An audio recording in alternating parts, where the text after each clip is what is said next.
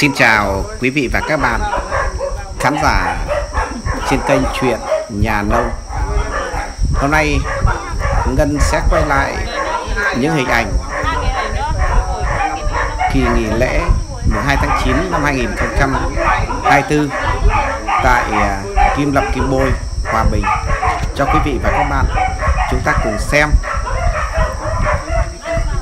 Ờ, hôm nay hai vợ chồng Ngân ăn cơm ở nhà cháu ruột của mình.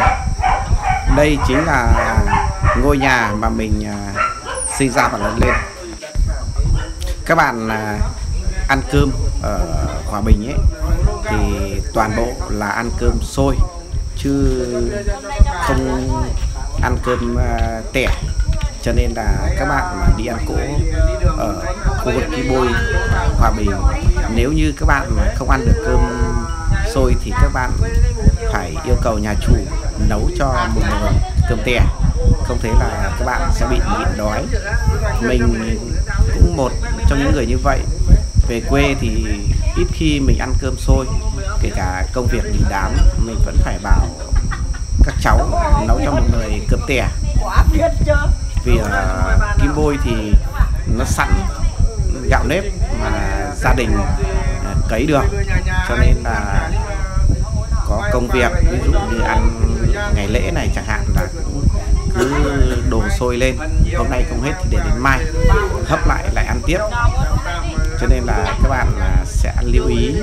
Vâng và các bạn về đây cũng được thưởng thức nhiều những món ăn món ẩm thực mà có. Ngày hôm nay uh, mình quay lại cái bữa cơm thân mật cho đại gia đình mình cho toàn thể quý vị và các bạn chúng ta cùng xem à, đây chính là Nhà rồi? Mình đây có ông anh à, thứ tư này thế này đây chị các bạn con cháu nhá. đây các cháu chắt này Dạ. hôm nay à, ở đây các cháu nó cũng thịt con trâu. nhưng mà mình không quay được cái cái hình ảnh thịt trâu cho mọi người xem. Tết à, độc lập mùng 2 tháng 9 ở đây người ta ăn này. Cứ bốn năm nhà nói chung ờ, nhà thì thịt lợn nhà thì thịt trâu thịt chó thịt vịt. Đây là mình hấp dẫn nhất là cái món nấu với lại à, lại à, môn môn khoai. Đấy giấy. Khoai giấy. đấy không phải gáy đây là môn khoai này. đây là đặc đấy biệt nhất là thịt con trâu chén. xào rau muống này. đây là rau sắn nấu cá chuối. Dương thấy mà cùng như đây.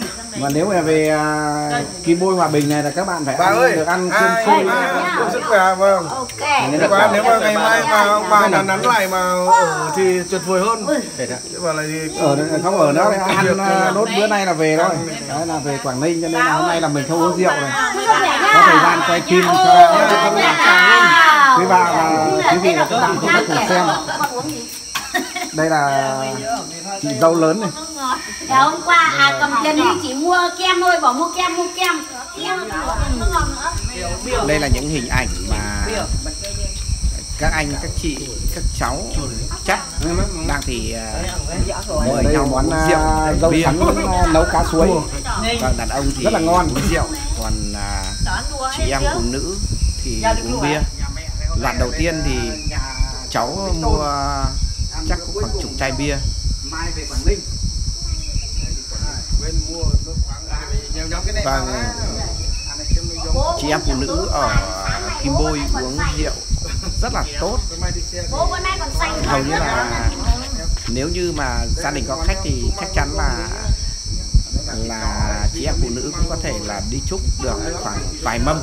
Cho nên là các bạn à, về Kim Bôi Hòa Bình uống rượu thì hãy lưu ý với chị em vì chị em uống rượu tốt.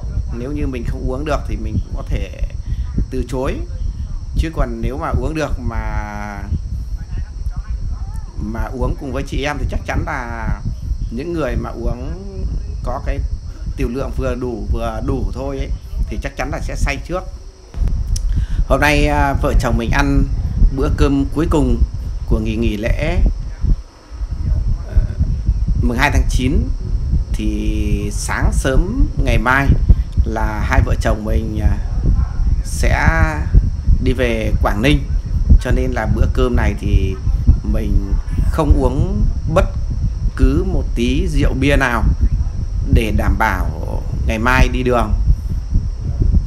Vâng nếu như uống rượu thì đi đường à, rất là nguy hiểm cho mình, cho người ngồi sau tức là vợ mình và, và ảnh hưởng cho những người khác.